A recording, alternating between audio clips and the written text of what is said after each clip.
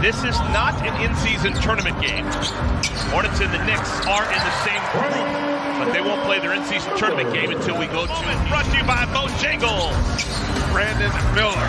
In 10 years in the short pants with the Hornets was the 97-98 season. You guys are good. 20 games over 500, 51 and 31. Then the lockout happened.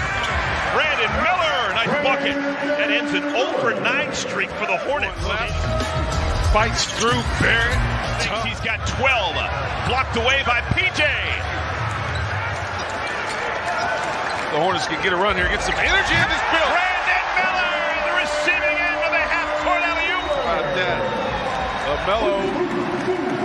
By Guy Roofing. Brandon Miller is three of three. This is the easiest one he's had so far. A couple of jumpers trying to ignite this crowd that's got too many Knicks fans in it.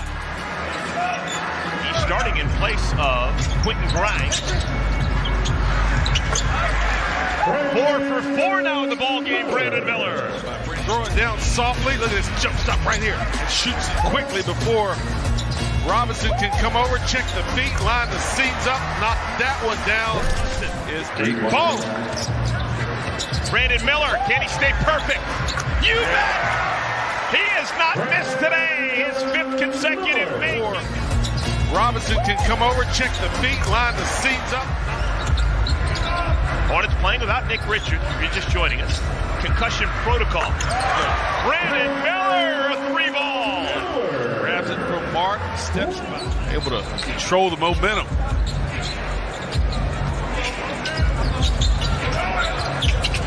Brandon Miller. Hey, three three-pointers for the rookie. That was a made-up mind shot right there. He knew once Bridges. Mitchell still down on the ground. Hornets have a size advantage. Five on four. Open look. Miller again. Best shooting game of his young career. Likes that spot. Three minutes. Hornets are getting shots up and down on the offensive end. Isaiah Hartenstein at the scores table for New York. Miller with the left hand on oh. Robinson was not expecting that. Brandon Miller, look at look at Mark and wait for Mark to get the picture. Kind of freeze Robin, uh, Robinson and then the left hand by the young man.